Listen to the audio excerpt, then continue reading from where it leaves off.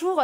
Alors ce matin, le porte-parole du gouvernement était présent aux cérémonies. Est-ce que, selon vous, comme certains le disent, Emmanuel Macron est un peu l'héritier de François Mitterrand?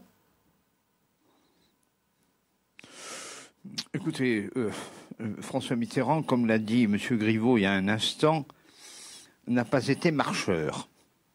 En tout cas, au sens où euh, le président Macron et ses amis l'entendent aujourd'hui. Mais il a été marcheur avant quand il s'est évadé à pied d'Allemagne et qu'il a fallu faire des kilomètres à pied dans la neige pour retrouver la liberté. Pour le reste, euh, y a-t-il des points de comparaison? Il y en a forcément.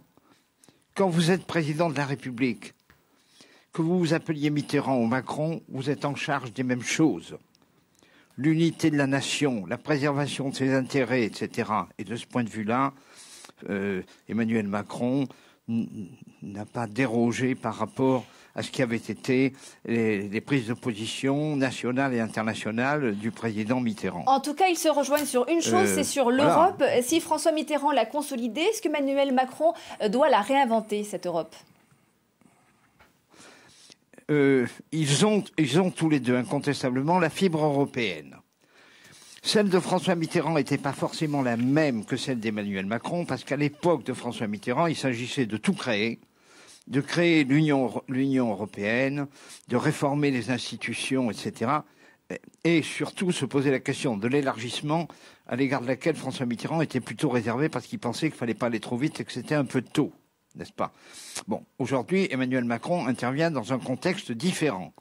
Mais les positions qu'il a prises sont des positions qui n'auraient sans doute pas forcément sur le plan des principes. Les modalités, c'est autre chose. Michel Charras, le, PS ne va pas très bien, on le sait, après quelques défaites électorales.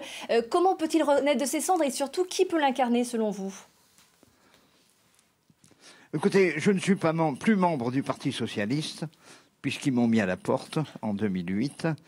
Et j'ajoute que depuis que je suis au Conseil constitutionnel, je m'abstiens par statut et par obligation de toute déclaration ou de considération politique sur la situation politique française intérieure. Mais vous n'en pensez pas, moi, Monsieur Charles, en tout cas. Je, vous... Ben, je pense forcément à un certain nombre de choses d'un parti politique dans lequel je suis resté pendant plus de 45 ans. Mais bon, je garde ça pour moi. Vous les gardez pour, vous, on l'a bien compris. Merci Michel Charras d'avoir répondu à notre invitation et je rappelle que vous étiez en direct depuis Jarnac où l'on commémore le 22e anniversaire de la disparition de François Mitterrand.